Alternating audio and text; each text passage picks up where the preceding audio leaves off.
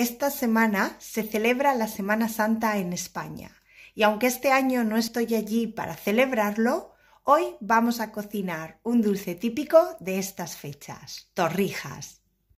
Vas a necesitar una barra de pan de dos días, limón, miel, canela. La mía es en polvo, pero preferiblemente en rama. Huevos, leche y un recipiente hondo. Ah, y azúcar.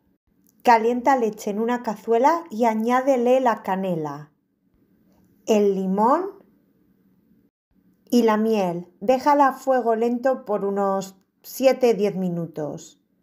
Mientras, corta el pan en rebanadas de unos 2 centímetros de grosor.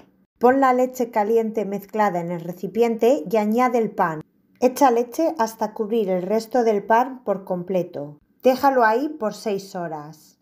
Pon aceite en la sartén y mientras se calienta, bate un par de huevos.